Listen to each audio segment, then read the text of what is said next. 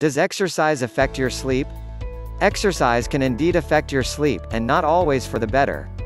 How, when, and where you exercise all have an impact on your sleep quality. Can exercise improve sleep? Yes, exercise can improve the quality of your sleep. In fact, many experts point to this basic lifestyle adjustment as being key to sleep improvement. However, sources point out that how and when you exercise makes a difference in how positively and how much your exercise will affect your sleep. Generally speaking, exercise in the mid to late afternoon is ideal. For one thing, it gets you past the sleepy time in the afternoon when taking a nap if possible can result in your not feeling sleepy at bedtime. Late afternoon exercise gets your body heat up and your circulation going, and as your body temperature cools, it seems to get the body ready for sleep. If you eat dinner early, exercising after dinner may work for you, but giving your body at least 4 hours of cool down time is said to be best. A vigorous workout in the evening shortly before bed means you are trying to sleep with a raised body temperature, and studies have shown that a cooling body temperature is most conducive to sleep.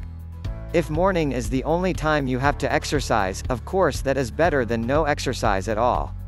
Because exercise is good for the body overall, all body systems from circulation to muscle tone are improved, and keeping your body systems in top shape ultimately promotes a good night's sleep.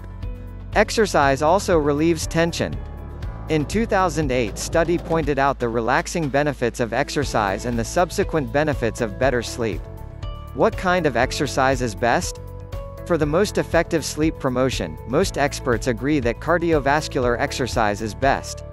A vigorous cardio workout that lasts at least 20 minutes is sufficient to raise body temperature, get your heart pumping, and enhance circulation. Examples of cardiovascular exercises you can do at home or nearby include walking vigorous, fast walking, jogging, jumping rope, aerobics, bike riding.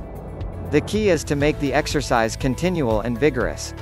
This is why exercises like yoga and lifting weights, while valuable and valid types of exercise, are not necessarily the best choices for sleep-promoting cardiovascular exercise.